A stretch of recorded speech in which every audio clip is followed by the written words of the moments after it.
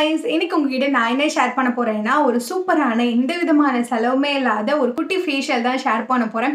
So தீபாவளிலாம் வருது நம்ம face வந்து நல்லா க்ளோயிங்காக இருந்தால் தான் இன்னுமே நல்லா இருக்கும். ட்ரெஸ் புது ட்ரெஸ் எல்லாம் போட்டுட்டு ஃபேஸ் மட்டும் டல்லாக இருந்தால் நல்லா இருக்காது இல்லையா? ஸோ நானுமே தீபாவளிக்கு இப்போதான் ஃபேஷியல் பண்ணுறேன் ஒரு வீட்டிலே என்ன எப்படி பண்ணுறேன் அப்படின்றதையும் உங்ககிட்ட காட்டுறேன். நீங்களும் என் கூட சேர்ந்து இந்த ஃபேஷியலை நீங்கள் பண்ணலாம். ரொம்ப ரொம்ப சிம்பிளான ஃபேஷியல் தான். எந்த விதமான வீட்டில் இருக்க இன்க்ரீடியண்ட்டே போதும். ரொம்ப நல்லா இருக்கும். ஸோ எப்படி பண்ணுறது அப்படின்னு சொல்லி பார்க்கலாமா? ஃபஸ்ட்டு மெத்தட் என்ன அப்படின்னு ஃபேஸ் வாஷ் தான். நம்ம ஃபேஸ் வந்து நல்லா கிளென்ஸ் பண்ணணும்.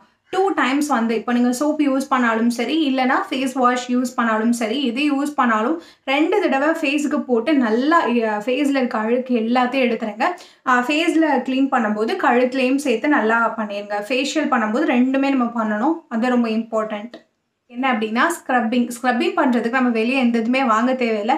ஸ்க்ரப்பிங் ஏன் பண்ணுறோம் அப்படின்னா நம்ம ஃபேஸில் வந்து அங்கங்கே வெள்ளை வெள்ளையாக இருக்கும். ப்ளஸ் வந்து ஒரு மூக்கு கிட்டலாம் பார்த்தீங்கன்னா தொட்டாலே ஷைனிங்காக இல்லாத மாதிரி மு ஒரு மாதிரி முள்ளு முள்ளாக இருக்க மாதிரி இருக்கும்.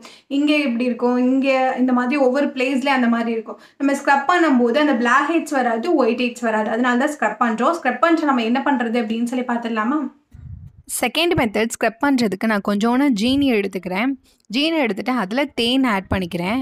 இதில் ஒன்றும் கிடையாது. ஜீனி தேன் ரெண்டு மட்டும்தான் யூஸ் பண்ண போகிறோம் இது நல்லா மிக்ஸ் பண்ணிட்டோன்னா உங்களுக்கு இந்த மாதிரி கிடைக்கும். ஸோ இதை வந்து ஃபேஸில் அப்ளை பண்ணணும். ஸ்க்ரப்பிங் பண்ண உடனே உங்கள் ஃபேஸ் வந்து ரொம்ப சாஃப்டாக இருக்க மாதிரி நீங்கள் ஃபீல் பண்ணுவீங்க. நல்லா தேனை ஊற்றிக்கோங்க தேனை ஊற்றிட்டு பண்ணால் தான் உங்களுக்கு இரிட்டேஷன் இருக்காது. ஸோ உங்களுக்கு வந்து தேன் வந்து அவ்வளோ இல்லை எனக்கு கொஞ்சம் தான் இருக்குது அப்படின்னா கொஞ்சம் நீங்கள் ரொம்ப கொஞ்சமாக வந்து தேங்காய் எண்ணெயும் ஆட் பண்ணிக்கலாம்.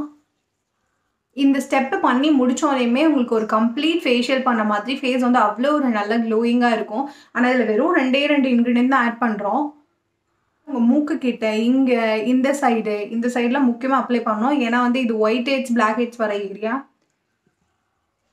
நிறைய பேர் கேட்குறாங்க தேன் வந்து முடியில் பட்டாலோ இல்லை புருவத்தில் பட்டாலோ கலர் மாறுமா அப்படின்னு சொல்லிட்டு. நான் வந்து தேன் யூஸ் பண்ணியிருக்கேன் ஸோ இப்போ பாருங்கள் இப்போ கூட வைக்கிறேன். அது வந்து தேன் வந்து நம்ம முடியில் பட்டால் முடி வெளியெல்லாம் மா மாறாது. நான் நிறைய தடவை ஃபுல்லாக தேன் தான் யூஸ் பண்ணிகிட்டு இருக்கேன். ஸோ எனக்கு அந்த மாதிரி எந்த இதுவும் மாற்றமும் தெரிஞ்சது கிடையாது. தலையிலையும் அப்ளை பண்ணலாம். ஒன்றும் பிரச்சனை இல்லை.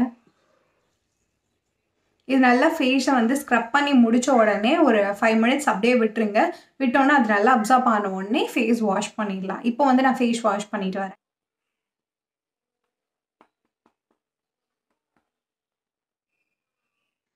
அடுத்த ஸ்டெப் என்ன அப்படின்னா ஸ்டீமிங் தான். ஸ்டீமிங் வந்து நிறைய தடவை நம்மளோட சேனலில் வந்து ஃபுல்லாக காமிச்சாச்சு. ஸோ ஸ்டீமிங் எப்படி பண்ணுறது அப்படின்னு சொல்லி ஷார்ட்டாக சொல்லிடுறேன்.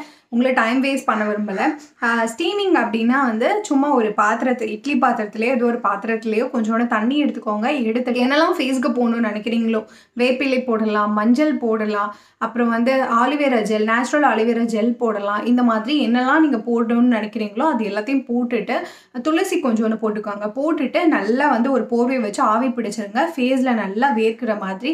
இது வேர்த்த உடனே உங்களுக்கு போர்ஸ் எல்லாமே ஓப்பன் ஆகிடும் ப்ளஸ் இந்த இது பண்ணுறது மூலியமாக போர்ஸில் இருக்க தேவையற்ற அழுக்கு எல்லாமே வெளியே வந்துடும் ஒயிட் ஹெட்ஸ் பிளாக் ஹெட்ஸ் எதுவுமே வராது. ஸோ இதுதான் ஸ்டீமிங் இந்த ஸ்டெப்பை அதுக்கடுத்து பண்ணிடுங்க. ஃபஸ்ட்டு ஃபேஸ் வாஷ் பண்ணிடணும். அதுக்கடுத்து ஸ்க்ரப் பண்ணிடணும். அதுக்கடுத்து தேர்டு ஒன் ஸ்டீமிங் பண்ணிடணும். ஃபோர்த்து ஒன் வந்து இந்த ஃபேஷியல் பண்ணுங்கள் இது கோல்டன் ஃபேஷியல் மாதிரி. அது பார்த்தோன்னே பார்த்தம்போதே ஒரு ஷைனிங் அடிக்கும் கோல்டன் கலரில் ரொம்ப நல்லாயிருக்கும் இந்த ஃபேஷியல் ஸோ இப்போ வந்து அந்த ஃபேஷியல் எப்படி பண்ணுறது அப்படின்னு சொல்லி பார்த்துடலாம். கோல்டன் ஃபேஷியல் பண்ணுறதுக்கு ஃபஸ்ட்டு வந்து கொஞ்சோன்னு ஒரு ஸ்பூன் அளவுக்கு காஃபி பவுடர் எடுத்துக்கிட்டேன். அதுக்கடுத்து கால் டீஸ்பூன் அளவுக்கு மஞ்சள் தூள் கஸ்தூரி மஞ்சள் தூள் எடுத்திருக்கேன். அதுக்கடுத்து ஒரு டேபிள் ஸ்பூன் அளவுக்கு ஆலிவேரா ஜெல் இது கடையில் வாங்கின ஆலிவேரா ஜெல் அதுக்கடுத்து ஒரே ஒரு விட்டமின் இ கேப்சூல் எடுத்துக்கிறேன். அதுக்கடுத்து ஒரு ரெண்டு ஒரு ஸ்பூன் அளவுக்கு ரோஸ் வாட்டர் எடுத்துக்கோங்க. எடுத்துகிட்டு எல்லாத்தையும் நல்லா மிக்ஸ் பண்ணிக்கோங்க. அவ்வளோதான் நம்மளோட ஃபேஷியல் பண்ணுறதுக்கான ஃபேஸ் பேக் ரெடி ஆயிடுச்சு. நீங்கள் ப்ரெஷ்லேயோ இல்லைன்னா இதுலையாவது போட்டுக்கலாம். ப்ரெஷ்லேயோ க நீங்கள் வந்து ப்ரெஷ் ப்ரெஷ்லேயோ இல்லை வந்து கையிலையோ போட்டுக்கலாம். இது கோல்டன் கலரில் ஃபேஸில் வரும். ரொம்ப நல்லாயிருக்கும் இந்த ஃபேஷியல் ஸோ ஏதாவது ஈவெண்ட்டோ இல்லை வந்து ஏதாவது ஃபெஸ்டிவலோ இந்த ஃபேஷியல் தான் நான் ட்ரை பண்ணுவேன்.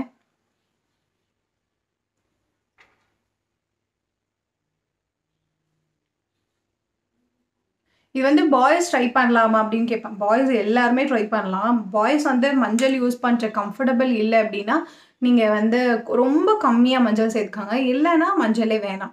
மஞ்சள்லாம் சேர்த்தா தான் பிம்பிள் எதுவுமே வராது. ரொ- ரொம்ப லைட்டாக மஞ்சள் சேர்க்கறனால முடி கொட்டுறது முடி வளராமல் போகிறது அந்த அளவுக்கு பாதிப்பு இருக்காது. ரொம்ப ரொம்ப கம்மி. எவ்வளோண்டு சொல்கிறேன்னா அது ரொம்ப ஆன்டிபயோட்டிக் இல்லை. அதனால பிம்பிள் எதுவுமே பாய்ஸ்க்கும் வராது. ஸோ பாய்ஸ் போடுறீங்க அப்படின்னா ரொம்ப லைட்டாக மஞ்சள் சேர்த்துக்கோங்க.